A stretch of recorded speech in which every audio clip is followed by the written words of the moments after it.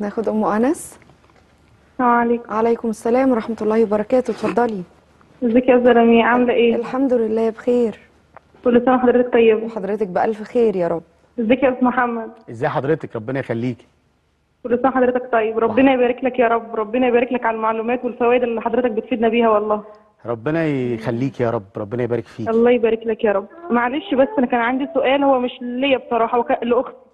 اتفضلي. هي أختي كلمتك يا أستاذة لمياء من أسبوع كان معاكي آه، الأستاذ إيهاب عيد. تمام. كانت بتشتكي لك آه، من جوزها وكده إن هو بقى أهمل فيها وكده وهي قالت لفظ مش كويس فقفلت الخط. آه.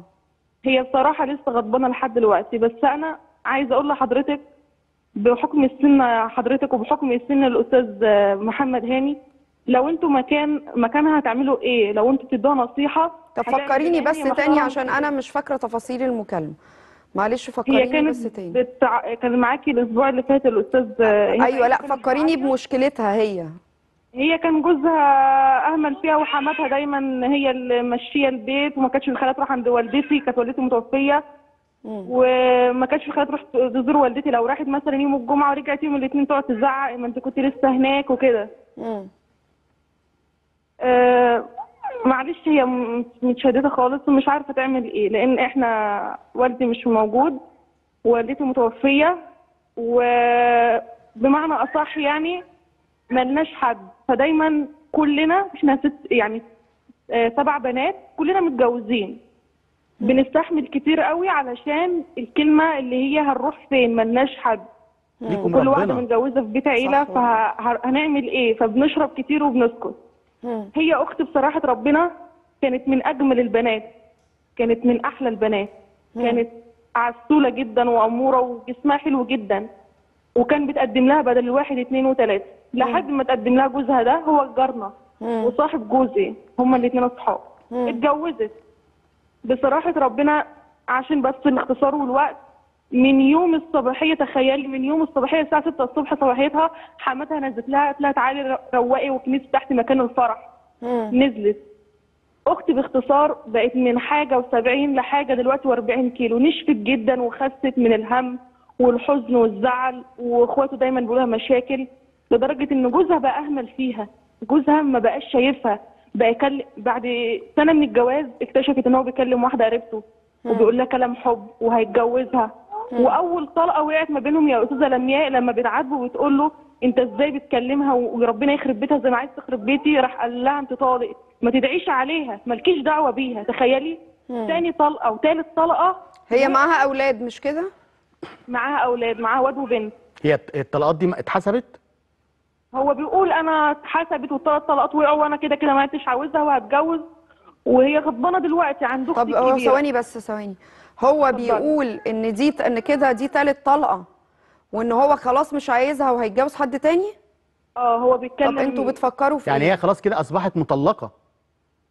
والله الله أعلم لأن هو لسه ما راحش الشيخ واتكلم معاه نيته. ماشي، بس بس- هو هو الراجل أساسا بيقول أنا مش عايزها وهتجوز غيرها. وغير كده كمان في ما هو حتة الفكرة إن هي قلبها تجمد يا أستاذ محمد هي الفكرة إن هي قاعدة عند أختي الكبيرة وجوز أختي فشايفة نفسها عبء وحمل. مش قادرة يعني عايشة ما بتاكلش. طيب ممكن تسمعيني؟ جدا. ممكن تسمعيني عشان تبلغيها الرسالة دي. هو دلوقتي حد مش مش عايز يكمل معاها. وهو دلوقتي بيقول إن الثلاث طلقات دول محسوبين لأن لأن لما يتسأل في مشيخة الأزهر هل نيتك الطلاق؟ هيقول آه نيتي إن أنا أطلق. يبقى الثلاث طلقات محسوبين. يبقى هي منتظرة إنسان هو مش هيرجع. حتة إن هي لازم تتحرر من الضغوط والقيود دي وتنزل تبدأ تشتغل وتشوف بالظبط. حياتها وتقف على رجلها. واحد بيقول لها أنا مش هكمل معاكي بعدين هي لو معاها أطفال هي من حقها إن يبقى ليها بيت قاعدة فيه مع أولادها. هو لازم يجيب حقوقها. يجيب شقة لاولاده يقعد في يقعدوا فيها هي حاضنة. فحتة إن هي قاعدة عند أختك أنا ما أعرفش هي معانا ولا قفلت. معانا تعبان وكانت وهي طالعة نسيت العلاج بتاعه في البيت. رنت قالت لجوزي رن عليه جيب العلاج قال لها أنا مش جايب حاجة وماليش دعوة بحد. وبعت صورة الروشتة. ما بيسألش ودايما بيتكلم ودايما كل يوم يجي الساعة 2 من على القهوة ومهمل فيها. ولما بيسألها والله أنت خسيتي وما بقيتيش عجباني قالت له هو الحب بالشكل. طيب ممكن تسمعيني؟ ال- ممكن تسمعيني؟ طيب. اتفضل اسم محمد. هو القصة كلها دلوقتي هي مش قصة جوزها. جوزها خلاص مش عايز يكمل معاها. والقصة كلها إن هي لازم نفسيا تقف على رجلها من أول وجديد. ما هي مش عارفة ومش قادرة. هي لو أم عايشة ولا أبويا عايش كانت وقفت قعدت في بيت والدي ولا مامتها كانوا جابوا لها حقها وكانت قاعدة معززه مكرمة. هو بيت والدتك موجود ولا مش. موجود؟ مين؟ بيت والدتك موجود ولا مش موجود؟ هو موجود بس هو آه، ما حدش قاعد فيه خالص تماما. يعني أيوة ما يعني- فيهوش عفش مهجور بمعنى أصح من ساعة ما والدتي توفت يعني في مكان نقدر إن إحنا نجهزه ولو بإمكانيات بسيطة تقعد فيها يا ولادها ده خلاف إن أنا بقول لك هو المفروض إنه يجيب شقة لاولاده هو أصلا أقول لك لدرجة العلاج ابنه تعبان. مش يعني هو جه من يومين علشان قلنا جاي ياخدها وربنا يصلح له الحال. جه وقف بره قدام بيت أختي. أنا عاوز ابني ومش عاوزها. جوزي بيقول له أنت هتاخد ابنك وأمه. قال لها أنا مش عاوز أمه. أنا عاوز ابني بس. أنا مش عاوز ابني يتربى. فطبعا أختي رفضت قالت لأ أنا خايفة على ابني ومش عايزاه يروح ما أولادها قد إيه؟ عمر ثلاث سنين وسنة وأربع شهور. الأطفال بيبيهات صغيرين. الفكرة إن أنا عايزة أطلب من أستاذ محمد إن هي دلوقتي أنا هرن عليها وتسمع الإجابة يا ريت يعني تقول لها حاجات تخليها تقف على رجليها لأن هي مش قادرة هي بتحبه جدا وصعبانة على نفسها ما بصي بص أنا عايز أقول لك حاجة. ما هو دلوقتي هو ضامن وجودها وعمال يتحكم فيها.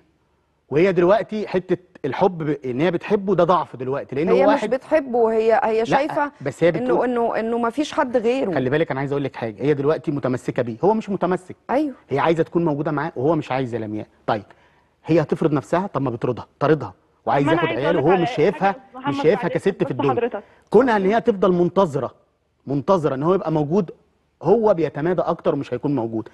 أنتوا كسبع أخوات بتقولي إن إحنا سبع بنات أنتوا لازم تقفوا جنب اختكم وتدعموها نفسيا وتوقفوها على رجلها ولو هتستضيفوها كل واحدة منكم تستضيفها. ولازم تفهموها إن الدنيا شهرين. مش بت... مش هتقف عليه هو. انت معانا؟ معايا يا أستاذة لمياء معاكي. أنا عايزة أقول لحضرتك حاجة. أنا جوزها باختصار شديد بس آخر حاجة إن هو راح جاب card وضم... هي اللي ضمنته فيه. كان دايما بيقع عليه فلوس ومشاكل وديون. كانت ترن على أختي بعت لي فلوس. ترن على جدي مثلا يعني هو يعني خال أبويا مثلا ابعت لي فلوس. تروح مثلا عند حد قريب بعيد جيران ابعتوا لي فلوس. تتصرف وتاخد الفلوس تديها له؟ وتاخد الفلوس تديها له وما تعرفش هو بيوديها فين. هو الكارد بكام بقى؟ إن هو بقى راكنها على جنب كده مثلا ضامنها بس لوقت الفلوس. أنت تتصرفي لي. وبتقول وبتقسم بالله إن هو كان بيعاملها بس معاملة لوقت الفلوس. غير كده ما بيقعدش معاها. يا جماعة ط- غير ط- كده دايما لما طيب ما هو لي كلها- أختك القصة- عادت لي. أنا عايزة أسأل سؤال. اتفضلي. أنت بتقولي أختك بتحبه. بتحبه على إيه؟ أو بتحبه ليه؟ ما هو اللي بيحب بني آدم بيبقى البني آدم ده سند وظهر ليه ومعاملته كويسة ليه. ده واحد زي ما أنتوا بتقولوا انه واخد فلوسها ودينها للناس وبيهنها وحكت ان هو ضربها ومامته بتعمل أيوة واخواته. بيعملوا طب إيه بقى؟ لدرجة إن تاني مرة شافته بيتكلم كانوا قاعدين فوق السطح في الدور الثالث اتكلم وبتتعاتب معاه راح ماسكها من شعرها مجرجرها من على السلم وهو مجرجرها اتعورت في رجليها اتفتحت جابت دم وما رضتش تقول لحد ولا ترن تقول لحد طب إيه يا جماعة بقى ال- التنازلات علشان خاطر الناس ما تستاهلش. تنازلات من البداية. وعشان كده دايما أقول للناس ما تتنازلوش عشان في ناس فعلا ما تستاهلش. هي اتنازلت بوقتها وطاقتها ومجهودها وصحتها وضمانته في القروض وفي الآخر قال لها مش عايزك ويلا امشي من هنا. تنازلات يا جماعة. تنازلات قبل ما تضحوا وتتنازلوا. شوفوا الناس دي تستا- تستاهل ولا ما تستاهلش. في ناس بيبقى عايزيننا في حياتهم كده لمجرد إن هم يمصوا دمنا ويستهلكوا طاقتنا. وفي الآخر لما يلاقوا مفيش مننا فايدة أو حاجة يطلعوها مننا تاني يرمونا. البنت دي يعني لو رجعت للشخص ده تاني هتتطلق تاني. ليه؟ تاني. لأن هو عايزها لمجرد إن هي تجيب له فلوس تخدمه هو مش شايفها كزوجة. مش شايفها كزوجة. يبقى الناس كلها تجتمع ويستغلوا حتة إن هو يعني جوز صاحب جوز أختها. ويقعد معاه ويشوف الضمان بتاع القروض دي ويبدأ هو اللي يكتب ورق على نفسه إن هو اللي اللي المكلف إن هو يسد القرض. لكن قصة إن هي ترجع له تاني لا هتموت. إحنا مش مع خراب البيوت. لا ده هو بس بس هو هو يعني أنا اتفاجئت إن هي بتقول ثلاث طلقات وان هو مش عايزها. لمياء إيه خراب بيوت إيه؟ ده ده الثلاث طلقات موجودين وهو قال إن أنا مطلقها. ومضيها على قروض وإن هي ضامنة. وطاردها وضاربها ومعورها. هو إيه تاني اللي موجود أصلا؟ هو فين البيت اللي موجود؟ هو مفيش بيت موجود أصلا. يعني معناها إن الإنسانة دي لو كملت معاه هيصحوا لها ميتة في يوم من الأيام إيه بقى.